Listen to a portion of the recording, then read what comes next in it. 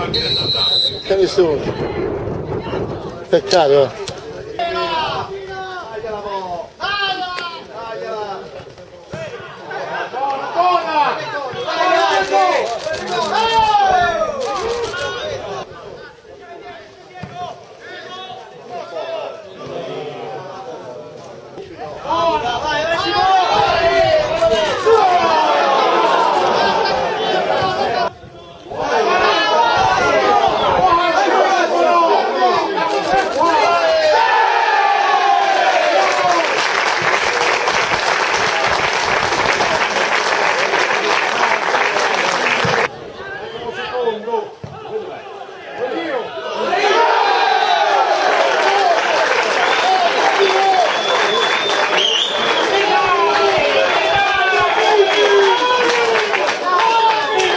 eh.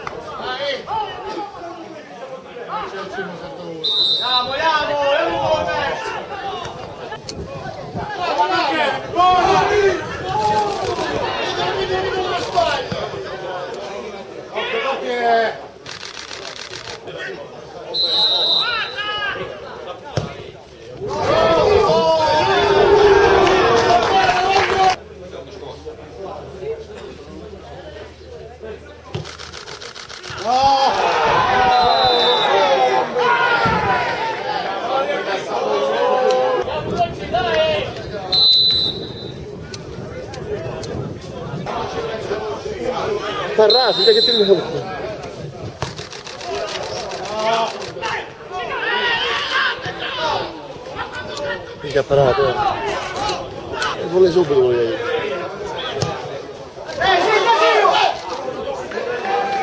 Muore.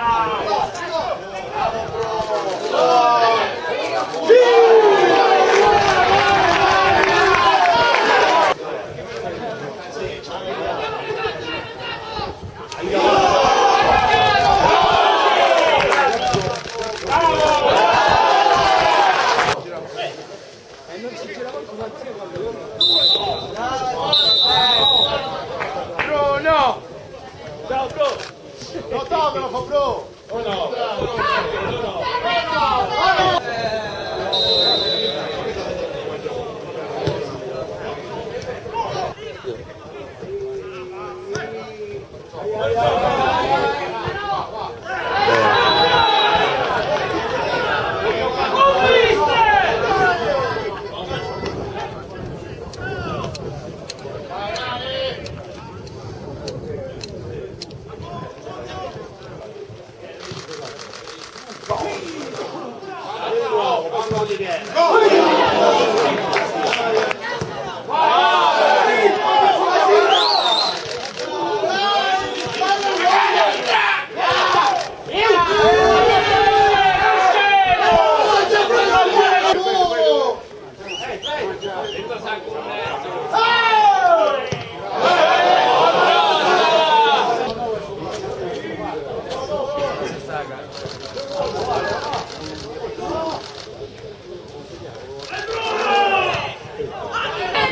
Tutte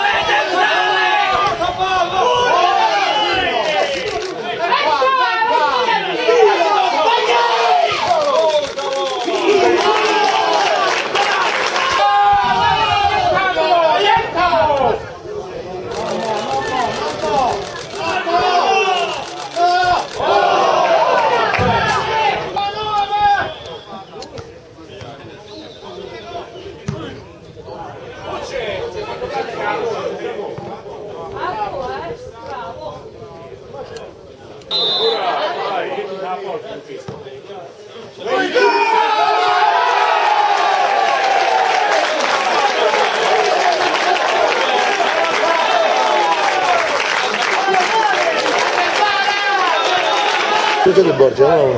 Sì, sì, appena c'è, sì. Ciao, ciao, ciao.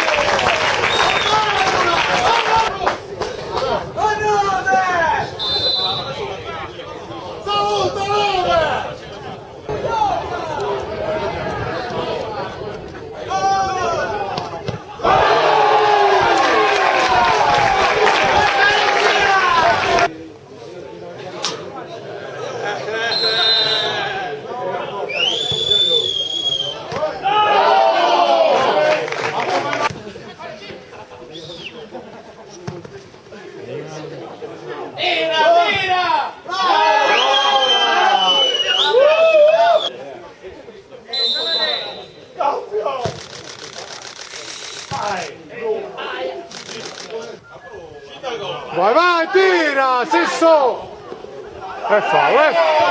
Non vedi che si mangia!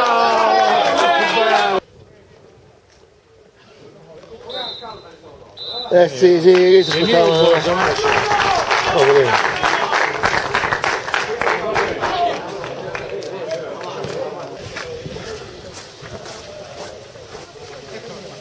Allora, Francesco Manasco, tecnico del Real Spiringa per Interforze Città di Manda. Allora, eh, Francesco, tutto un'altra, diciamo, di spalle 5-2, però credo che lo Spiringa non abbia meritato. Oggi, anzi, fino all'ultimo minuto ha giocato sempre, non si è mai arreso, ha cercato, ma oggi forse eh, c'è pure, pure qualche piccola, come dire, diciamo, discussione in campo, non vogliamo entrare nel merito perché certamente ci può stare in una partita, eh, però credo insomma, che lo Spiringa eh, sul 3-2 ha pure rischiato di andare a 3-3, però poi alla fine il 4-2 vi ha, ho tagliato le gambe. Sei d'accordo con me oppure insomma. Sì, sì, sì. sono d'accordo, siamo andati, il nervosismo è stato dovuto secondo me pure a un errore dell'arbitro che non mi va di commentare, però aveva, aveva chiesto, che, aveva detto che fischiava lui, i ragazzi avevano chiesto la barriera, abbiamo preso il 2-0, poi per fortuna abbiamo reagito.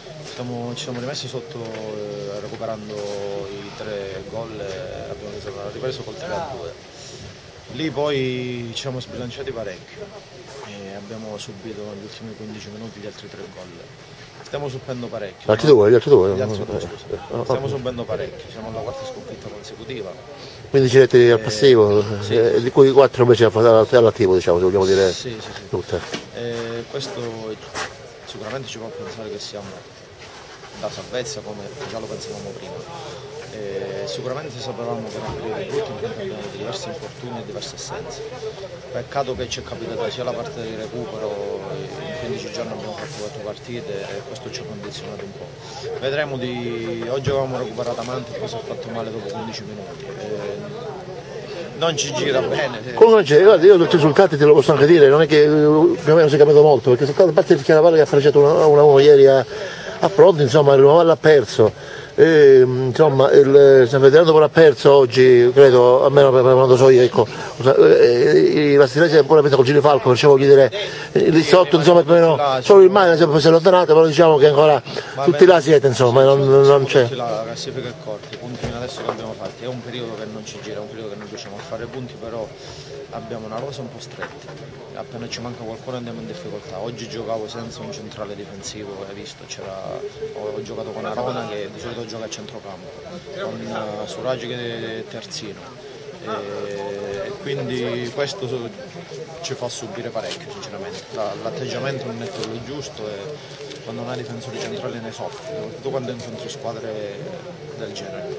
Senti, Stilese e Stalti hanno vinto tutte e due. Il Borgia ha pareggiato, insomma, credi che sia due con il campionato oppure credi che ancora Credo possono che- entrare? Anche il Rombiolo ha vinto, perciò vogliamo oh, tre forze, anche Rombiolese può, può entrarci, però diciamo. Credo, si stia, credo si stia delineando la classifica, le squadre buone sono già su.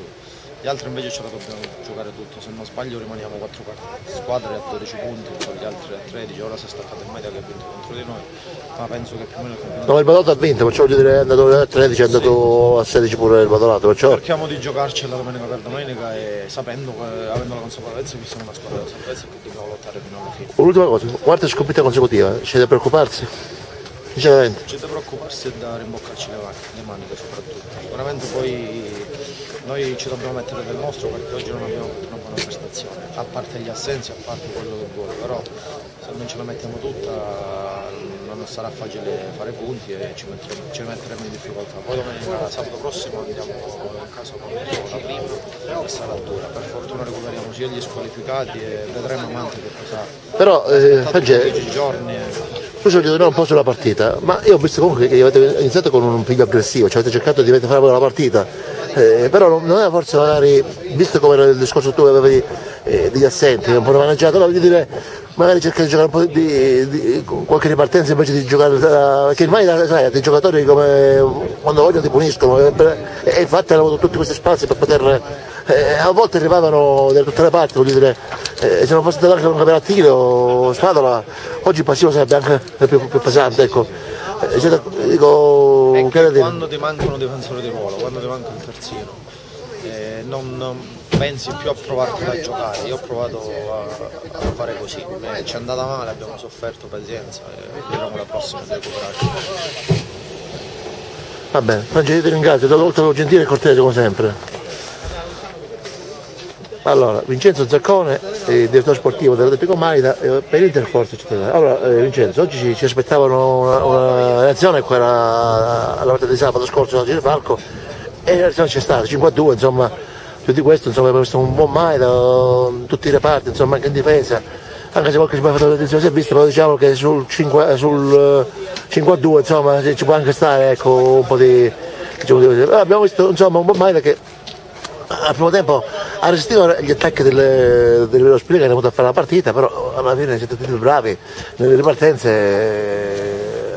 nelle ripartenze fare diciamo, a mettere sotto diciamo, lo spinning nel secondo rete e poi insomma, pian piano diciamo, si è il risultato. Ecco, tu eh, sei d'accordo con la mia analisi oppure insomma, hai qualcosa da dire, può aggiungere? Ecco. No, mm, abbiamo, fatto, abbiamo avuto una bella reazione rispetto alla partita di sabato, che purtroppo sapete tutti com'è andata. Eh, è stata un'occasione persa sabato scorso, non ci siamo fatti sfuggire invece la partita di oggi con lo Spilling che una squadra tosta, noi l'avevamo già vista giocare a fronte che nonostante la sconfitta aveva giocato pure bene, e quindi avevamo più, più paura di un, discorso psicologico per, per, la partita di sabato perché i ragazzi hanno accusato il colpo, però invece c'è stata una grandissima reazione, partita penso che abbiamo meritato la vittoria, l'unica pecca che abbiamo avuto sul 3-1 ci siamo un pochino rilassati, abbiamo rischiato di rimetterli in partita col gol del 3-2 poi per fortuna siamo riusciti ad andare di nuovo sul doppio vantaggio e poi a chiudere la partita sul 5-2. Una, una buona vittoria che ci rilancia e speriamo domenica di sbloccarci fuori casa. Ecco cosa volevo dirti, insomma, dicevo, domenica andate sabato, anzi, andate a Ferdinando che avete sorpassato oggi in classifica a 16 punti, non a 15. Insomma, sarà una, una partita, cioè, ecco, riusciremo a vedere una, una continuità fuori casa, cioè, vedete le tre sconfitte consecutive fuori casa, insomma, eh, la, la, la, la, belle partite di Rombiolo e Stilo eh, ce le siamo dimenticate, insomma, ecco. Esatto. Eh, ci voleva proprio di, diciamo, di, esatto. di carattere, secondo Quello me. Quello che dici tu è giustissimo, perché noi avevamo iniziato benissimo, secondo me, fuori casa, con due trasferte difficili come quelle di Stilo e di Rombiolo, con due ottime squadre. Stilese non sto io a giudicarla, parlano i fatti, insomma, è pubblicata in classifica, anche la Rombiolese stessa, che in casa, anche fuori casa, ma in casa soprattutto è molto temibile eh, sia Stilo che siamo riusciti a pareggiare da 2 a 0 con 2 che a Rombiolo invece siamo stati raggiunti, abbiamo fatto due grandi partite, compresa la partita di Staletti che abbiamo giocato una grandissima partita e abbiamo perso 1-0 immeritatamente. Le ultime due trasferte sono da dimenticare perché non abbiamo espresso gioco né a Nocera né a Girifalco, quindi senza, senza trovare scuse, senza alibi, dobbiamo rimboccarci le maniche e cominciare a fare punti fuori casa, sperando di cominciare già domenica a San Ferdinando, anche se sappiamo che andiamo a giocare con una delle migliori squadre del girone. Va bene, eh, vediamo se sabato eh, forse potrà venire, vorremmo venire, vediamo un po' se riusciamo a vedremo insomma ecco, eh, grazie Vincenzo te,